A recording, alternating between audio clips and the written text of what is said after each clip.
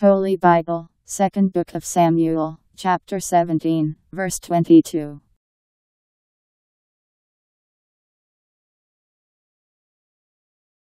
So David and all the people who were with him went up over Jordan. When dawn came, every one of them had gone over Jordan.